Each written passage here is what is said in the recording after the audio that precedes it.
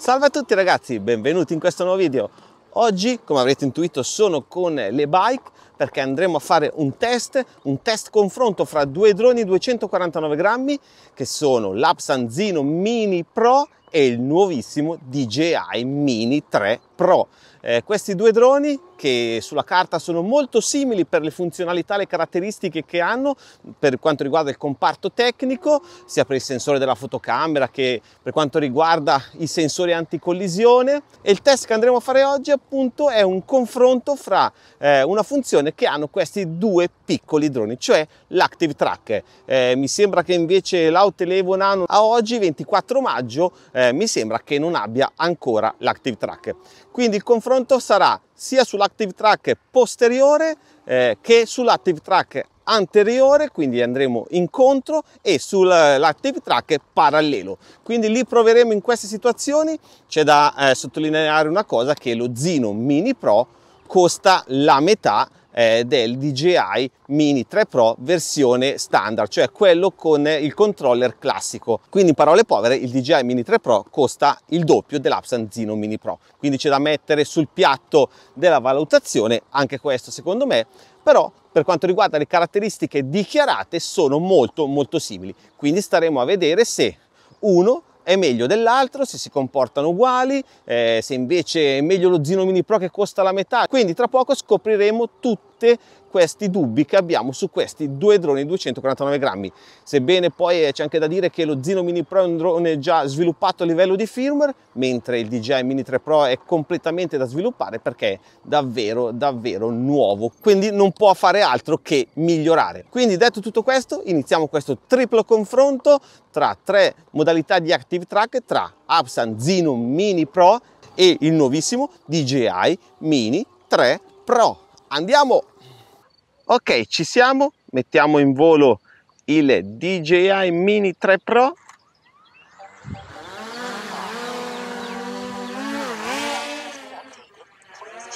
Ok, lo vado a posizionare dietro di me. Allora, ci siamo, il DJI Mini 3 Pro è qua dietro di me, vado a selezionarmi. Ok, vado a selezionare Active Track, vado a cliccare Go e ci siamo pronti, partenza, via! Con Active Track posteriore del DJI Mini 3 Pro.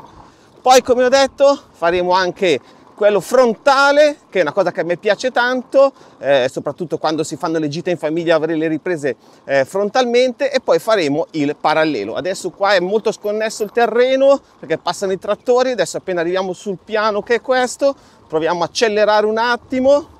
Siamo a 21 km orari 20 km orari acceleriamo ancora un attimo.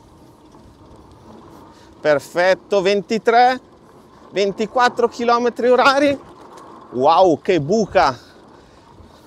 Siamo quasi arrivati alla meta. Buche buche. 23 24 km orari. È stata la velocità massima che ho raggiunto. E perfetto DJI Mini 3 Pro. Perfetto eh? adesso vado a girare la bici e facciamo la prova frontalmente Pronti? Partenza. Via!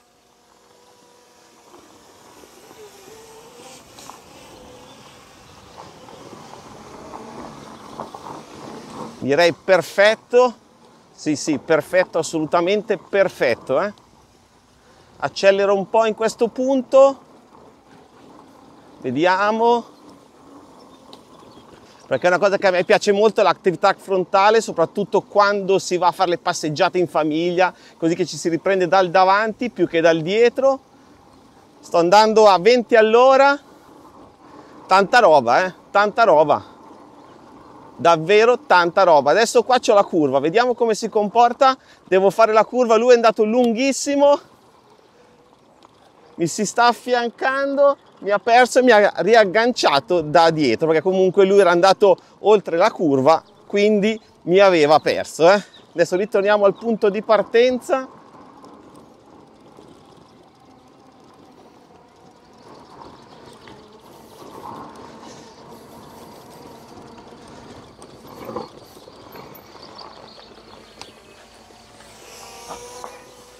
e direi tanta tanta roba eh là è andato lungo perché lì c'era la curva, ovviamente lui stando avanti a me di mi sa un tipo 5-6 metri più avanti di me è andato ovviamente oltre la curva. E io invece ho fatto la curva con la bicicletta quindi lui è rimasto fregato eh, ma sul dritto tanta tanta roba. Adesso lo posiziono da parte a me così che possiamo fare l'active track parallelo.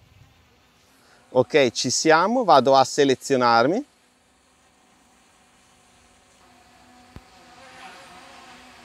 parallelo e facciamo go. Pronti? Partenza. Via.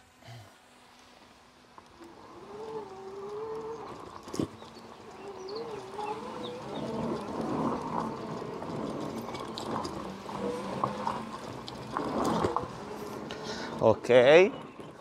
Mi sta tenendo inquadrato sì perfetto. Davvero super sconnesso sto sentiero ok acceleriamo un attimo. Siamo a 20 km orari. Sì mini 3 sempre presente. Vai adesso qua c'è la curva eh. vediamo come si comporta qua nella curva.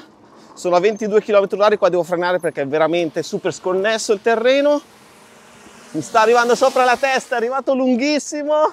Si è girato e mi ha ripreso. Cosa sta non sta capendo più la mazza nella curva lui è andato lunghissimo è passato sopra alla testa. Ok adesso lui è qua davanti. Allora quella curva qua l'ha fregato sia come eh, active track frontale perché comunque ovviamente lui stando davanti a me di un bel po' di metri 4-5 metri non sapeva che io avrei girato quindi lui è andato oltre la curva. Quando ho girato praticamente non era più frontalmente a me però mi ha ragganciato da dietro. Col parallelo ho fatto la curva eh, ovviamente lui non sapendo che io facessi la curva è arrivato con la sua velocità perché comunque andavo abbastanza veloce eh, quindi lui è arrivato bello lanciato quando io ho fatto la curva lui mi ha sorpassato e è stato davvero molto molto interessante vederlo in questa situazione ma ovviamente è una situazione difficile perché il parallelo è fatto appunto per andare in parallelo su una eh, strada dritta, non con una curva a gomito. Però era proprio per vedere il limite che poteva darci questo drone in questa situazione. Quindi adesso ragazzi metto via il DJI Mini 3 Pro e facciamo la stessa identica prova con le stesse tre situazioni con Absan Zino Mini Pro. Quindi andiamo a farlo decollare Con gli Apsanzino la cosa fastidiosa è che bisogna avere per forza un'altezza di 5 metri, altrimenti non si può fare eh, i quick shot, non si può fare assolutamente niente se non si è ad un'altezza almeno di 5 metri. Eh? E questa è una cosa un pochino fastidiosa. Allora, entriamo nelle impostazioni dell'Active Track, traccia attiva, inteso, vado a selezionarmi, ok, e vado a fare Go. Perfetto, Adesso il drone è agganciato, quindi non mi resta che farmi seguire. Allora, pronti? Partenza. Via!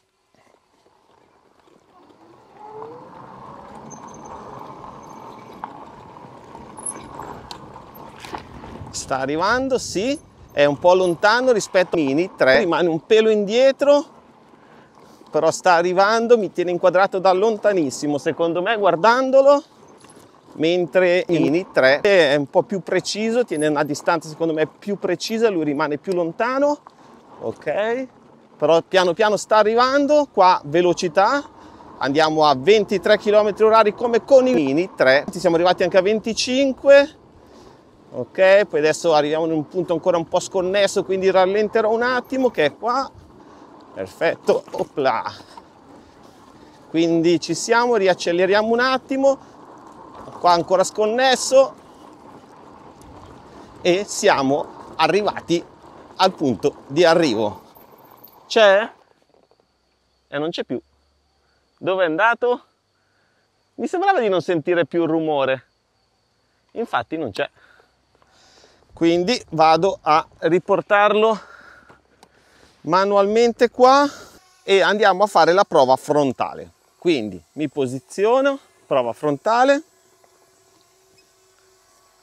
Secondo me il suo difetto più grande sono questi 5 metri d'altezza che 5 metri che poi magari vanno anche un pochino ad aumentare. Se no lui non fa partire i voli automatici e questo è fastidioso perché 5 metri sono davvero tanti. Non so come mai c'è sta fissa dei 5 metri e come vedete è, è, diventa troppo quindi rischia di perdere il soggetto facilmente secondo me anche per questo motivo perché deve stare troppo eh, in alto. Quindi a questo punto vado a selezionare ancora Active Track. Perfetto inteso. Vado a selezionarmi e vado a fare Go. E proviamo come si comporta andando frontalmente. E almeno qua se dovessi perderlo lo vedo. O meglio se lui dovesse perdermi me si sposta non va frontalmente si sposta e mi va ad agganciare da dietro eh? sì infatti non lo fa quindi frontalmente lui si gira e viene ad agganciarmi posteriormente eh? sì, sta arrivando, però eh, diciamo che non ha fatto quello che doveva fare, cioè doveva andare indietro, in realtà non è andato. Quindi è andato indietro un pezzettino per poi girare ed agganciarmi posteriormente. Però adesso non mi ha perso, è vero che sono andato un po' più piano, no dai, neanche sono quasi a 20 all'ora, quindi più o meno la velocità è la stessa, vediamolo, sta arrivando, sì dai, l'ha fatto meglio adesso di prima l'active track posteriore che adesso volevo che facesse quello frontale. Adesso 21 km orari e mi ha perso e nella curva mi ha perso ancora. Eh? Ma secondo me la sua fregata sono sti 5 metri d'altezza, è una cosa che non ho mai capito, infatti mi dà un fastidio allucinante, ma anche per tutti i quick shot eh, è un po' fastidiosa questa cosa dell'altezza, non so perché eh, ce l'abbia non riesco a capire. Quindi adesso lo vado a posizionare per provare l'active track parallelo. Ok ci siamo posizionato salgo un pelo con la telecamera ok perfetto. Allora vado sempre all'interno della modalità active track traccia attiva parallelo vado a selezionarmi e vado a fare go. Quindi ci siamo. Adesso lui dovrebbe seguirmi in parallelo e vediamo come lo fa se mi mantiene inquadrato dall'inizio alla fine e come farà la curva perché ovviamente quella curva è una, diciamo, una situazione eh, anomala sia per l'active track frontale che per quella parallelo. Quindi pronti? partenza? Via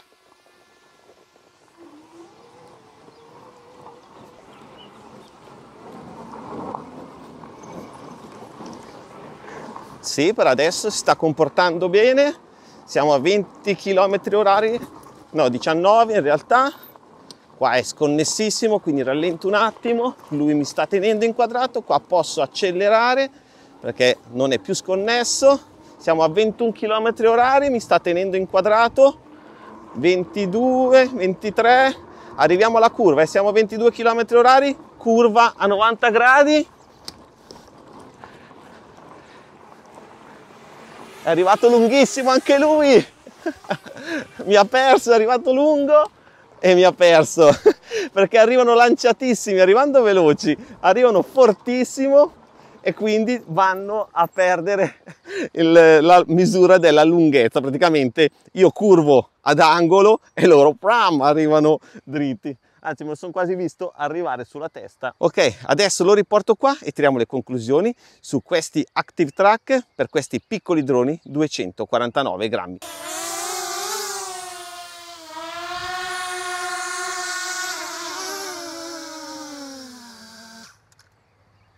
Ok, il test è finito e possiamo tirare le nostre conclusioni. Abbiamo qua lo Zino Mini Pro e di qua il DJI Mini 3 Pro. Allora, eh, sicuramente a livello di risultato finale non c'è confronto, lui ha stravinto, però c'è sempre da valutare un discorso anche economico, perché qua questo drone costa la metà di questo quindi eh, è tutto dire perché comunque parliamo di un drone che costa intorno ai 460-470 euro e qua parliamo di un drone che nella versione con il controller quello classico quindi quello senza il display costa 860 euro una cosa del genere. Quindi capite che siamo eh, quasi alla metà e la differenza è davvero tanta per quanto riguarda il punto di vista economico, però sicuramente anche dal punto di vista pratico lui tanta tanta roba, anche perché qua parliamo di un drone appena arrivato sul mercato con eh, firmware ancora nuovi, quindi con tanta potenzialità ancora da sviluppare, qua invece è un drone praticamente già sviluppato che ha ricevuto tanti aggiornamenti, eh, però che è ovviamente attualmente è sicuramente da questo punto di vista per quanto riguarda l'Active Track inferiore a lui.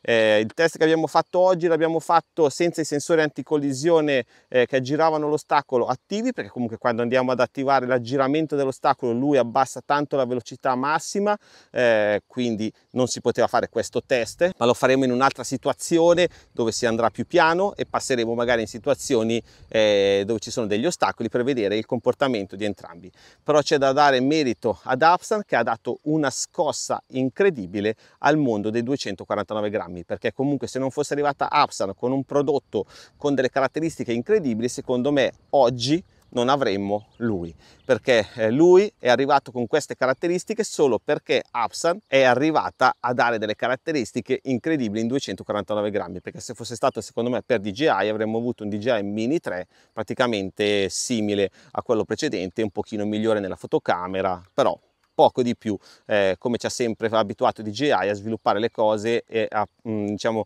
eh, portare nuovi prodotti in maniera lenta, appunto perché tanto era l'unico produttore concreto di droni di un certo livello ed Apps hanno dato una bella scossa, soprattutto per i sensori anticollisione e l'Active Tracker.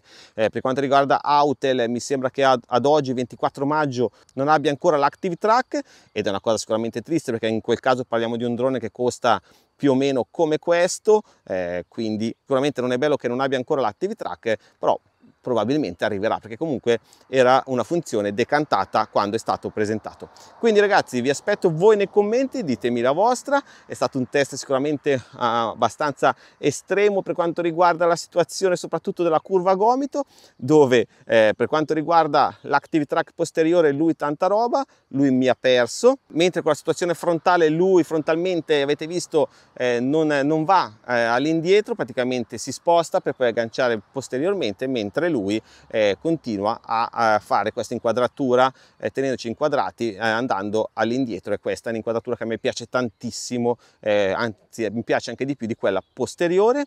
Eh, ovviamente quando sono arrivato alla curva lui essendo più avanti di me eh, la curva non l'ha fatta perché era già andato oltre la curva. Però cosa ha fatto? Quando io ho fatto la curva mi ha riagganciato da dietro non è che mi ha perso mentre sul parallelo avete visto che quando io ho fatto la curva a gomito, soprattutto perché la curva era verso eh, il lato dove avevo il drone, quindi non era dalla parte opposta, in quindi eh, lui mi avrebbe seguito senza problemi se avessi fatto la curva verso sinistra, eh, stessa cosa lui, ma avendo curvato a destra entrambi sono andati in crisi perché praticamente eh, io gli sono andato incontro, loro arrivavano velocissimi perché comunque la velocità della bicicletta mi sembra che intorno ai 19 km h una cosa del genere più o meno, eh, e ragazzi avete visto che loro sono passati via a manetta perché praticamente io come se mi fossi bloccato ho girato di colpo ad angolo retto e loro sono passati via. Ovviamente se avessi girato ad angolo retto verso sinistra però non c'era la strada per farlo perché la strada andava a destra eh, avrebbero sicuramente continuato a seguirmi in parallelo. Quindi ragazzi se questo è il mio video test in cui vi ho portato il confronto tra tre modalità di Active Track fatte con l'app Sanzino Mini Pro e il nuovissimo DJI Mini 3, vi è piaciuto? Lasciatemi un grosso pollice su, seguitemi su Instagram dove porto tante novità, tante prime eh, spoiler di quello che arriva qua sul canale, tantissime cose arrivano su Instagram, sempre se vi va iscrivetevi al mio canale Telegram Offerte per sostenere questo canale dove posto tantissimi coupon sconto riguardanti i droni e tutta la tecnologia in generale, ma soprattutto ragazzi iscrivetevi a questo canale YouTube per non perdervi neanche un video, un volo, una recensione, un test o un confronto come questo. Ciao e al prossimo video!